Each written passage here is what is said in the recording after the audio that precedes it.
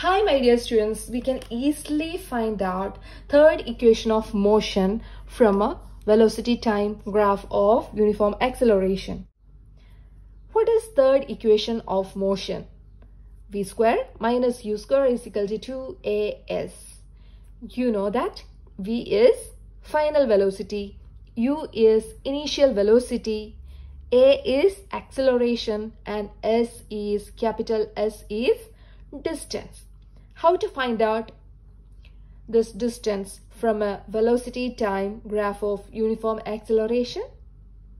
Yes, the area under this graph represents distance covered by the object.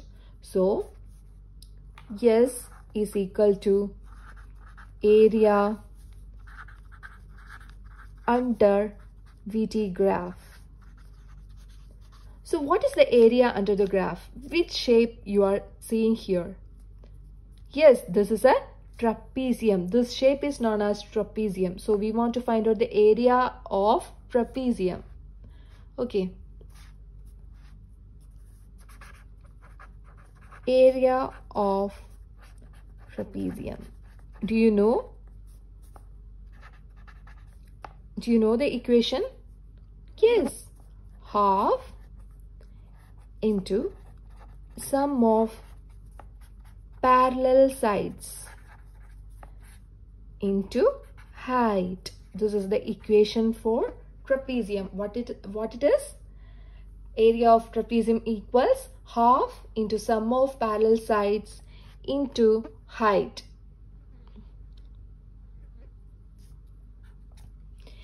So what is area of trapezium gives?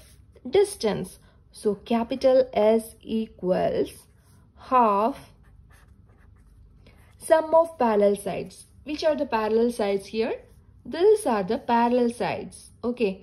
This represent initial velocity. So this much is u and this is final velocity. So the length is v. So sum of u plus v. u plus v into height which is height. Actually height of a trapezium is the opposite side of the slope. This one. This one actually time. So we can uh, give t here. In this equation we can replace t by using the first equation of motion v is equal to u plus at from this equation we can find out t. Okay. So V, this U is coming in the side, that is U, that is equal to AT.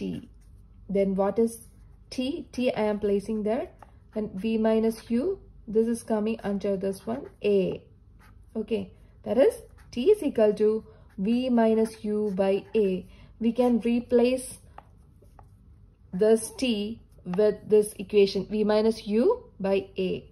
So that is equal to half u plus v into t is v minus u by a, v minus u by a. You can see in this equation, v is com comes at first position. Okay, so s is equal to half. Here, we can place v in first. v plus u, v minus u by A. What is V plus U into V minus U? Do you know?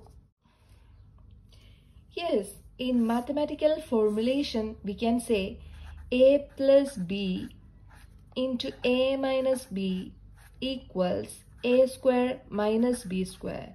In the same sense, V plus U into V minus U equals v square minus b square, right? Sorry, v square minus u square, right? See, v square minus u square.